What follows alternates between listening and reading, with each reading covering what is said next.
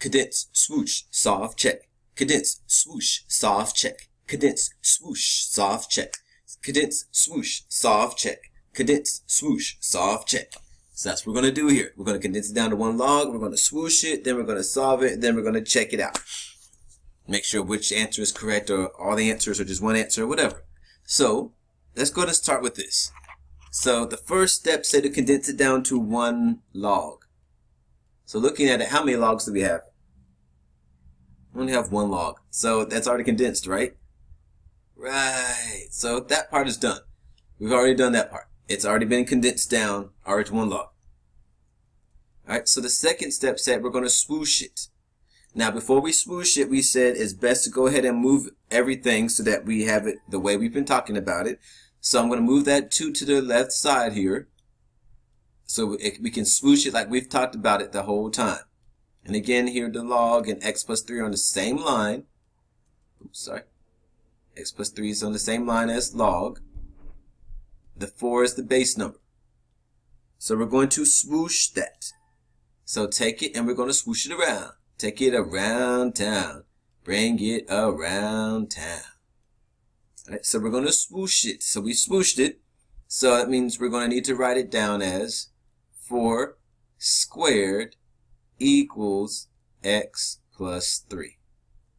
That's hard. Oh my gosh. Oh my gosh. That's so hard. Oh, we swooshed it. Right? So then after we swoosh it, we say we need to solve it out. So what is 4 squared? Without a calculator, what's 4 squared? 16. S equals x plus 3. Alright, and then the last thing, uh, the thing here still says for step 3 is to solve it. So how do you solve for x? Subtract 3 from both sides. Yes. That's what you said. I know. I can hear it in your head. I can read your minds. You're saying this is stupid, but it's kind of easy. This is boring, but it's kind of easy. I can do it. I think I can do it. Okay. So now the last thing, we get x equals 13. Now we need to check x equals 13 in the original problem to see if it actually does work out. Let's check out. So we're going to substitute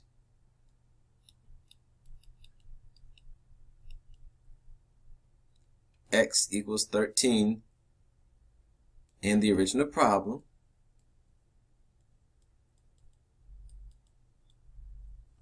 To see if it actually checks out.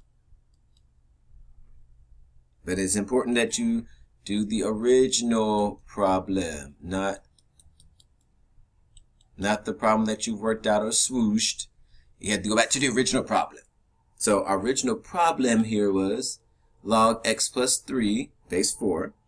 So I'm going to write this problem down. So log x plus 3 base 4 equals, believe it was, okay, 2.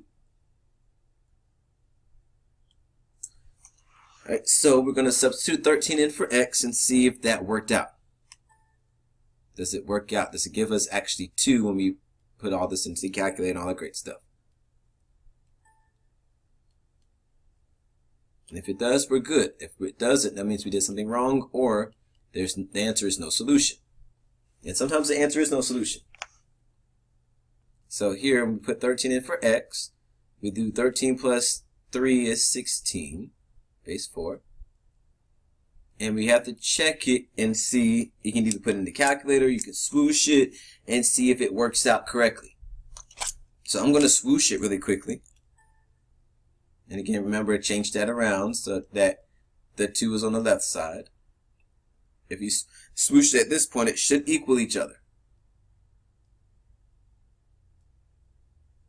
So we get 4 squared equals 16. And 4 squared is 16, and that equals 16. So what is your answer for the problem? Is it 16?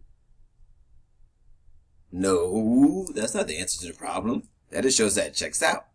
But what is x equal?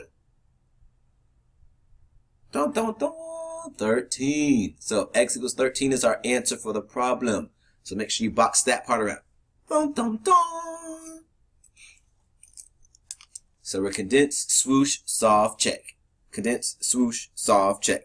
Condense, swoosh, solve, check. Condense, swoosh, solve, check. All right, so here's the practice coming at you.